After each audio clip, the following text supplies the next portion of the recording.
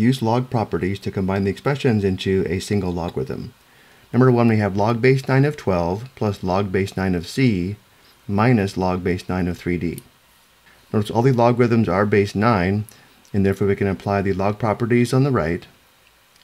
Working our way from left to right, we begin by combining log base 9 of 12 plus log base 9 of c using the log property log base a of m plus log base a of n equals log base a of the product of m and n. So in This indicates we can write the sum of the first two logarithms as log base 9 of the product of 12 and c, or log base 9 of 12c.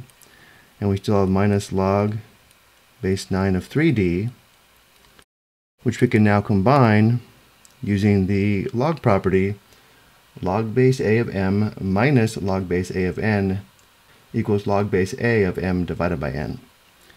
This indicates we can combine the difference of logs as log base 9 of 12c divided by 3d. But we're not quite done yet. Notice 12 divided by 3 is equal to 4 if we want 4 over 1, which indicates we can write the final log expression as log base 9 of 4c divided by d. And now let's look at the second expression.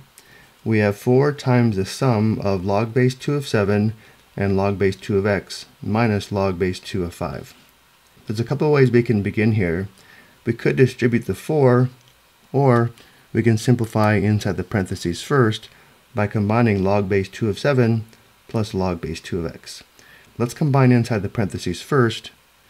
Log base 2 of 7 plus log base 2 of x is equal to log base 2 of 7x. And then if we multiply by 4, we have 4 times log base 2 of 7x minus log base 2 of 5. Now we need to be careful here. We cannot combine these two logarithms until the coefficient of the first log is equal to 1, which means we'll have to apply the power property of logarithms before we combine the two logs. The power property of logs is p times log base a of m equals log base a of m to the power of p.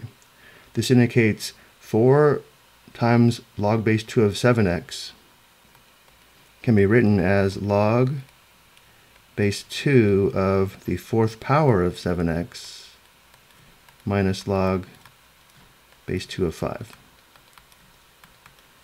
And the fourth power of 7x is equal to 2401 x to the fourth. So let's write the first log as log base 2 of 2401 x to the fourth minus log base 2 of 5.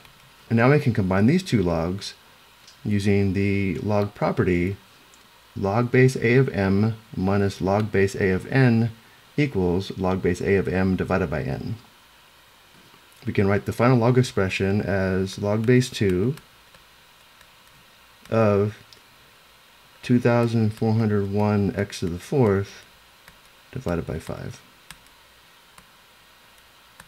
It's probably also fine to just leave 2401 x to the fourth as the fourth power of 7x. I hope you found this helpful.